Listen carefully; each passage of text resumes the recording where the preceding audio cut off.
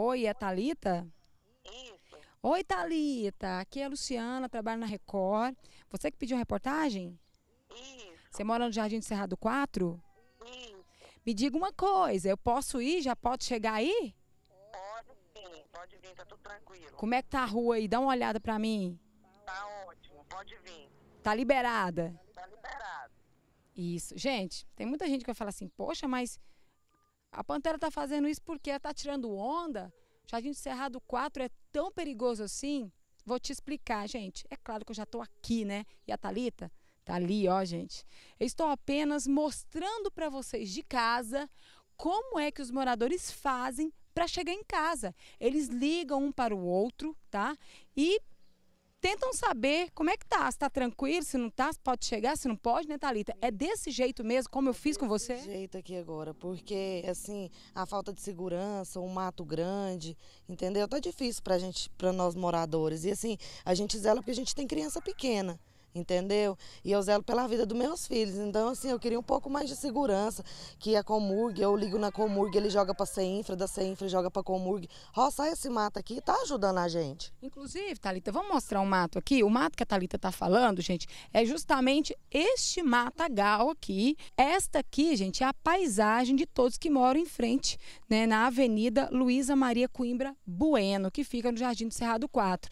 E essas pessoas estão pedindo que a prefeitura venha tirar esse matagal daqui, porque aqui já virou desova, gente, esconderijo de malandro, de ladrão, que roubam carros, motos, objetos pela cidade, às vezes até no próprio bairro, e vem esconder aqui. Né? E a segurança? Cadê? Os moradores querem saber. Além, é claro, da falta de estrutura básica, que nem asfalto essa rua que tem, gente. O que, que os moradores fizeram? Colocaram essas câmeras de monitoramento aqui na frente, ó, por conta própria. Eles fizeram isso, colocaram a serpentina ali em cima, para ver se inibir um pouco a prática criminosa.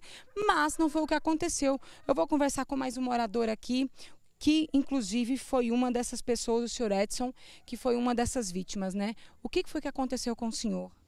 Bom, na chegada do, de um culto, é, aproximadamente 10 da noite, é, na, chegada no meu portão, fui abordado por uma pessoa e logo na sequência mais quatro pessoas, é, aliás, três pessoas, eram quatro elementos ao total.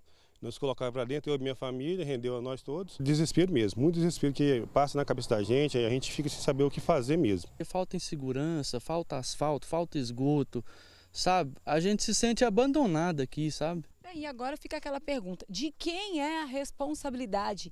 Quem é que vai fazer alguma coisa, que vai melhorar essa situação do Jardim do Cerrado 4? E não é só o Jardim do Cerrado 4, não, gente. Ali do outro lado, lá na frente, lá, ó, é o Jardim do Cerrado 7. E eu tenho certeza que se eu sair daqui e chegar lá agora, os moradores vão falar é, coisas semelhantes, em situações iguais ou bem parecidas ao que esses moradores falam aqui. Tinham outras pessoas para falar, viu? Mas eles ficaram com medo. Não quiseram vir, marcaram ainda com a Talita, mas desistiram em cima da hora. Por quê? Medo.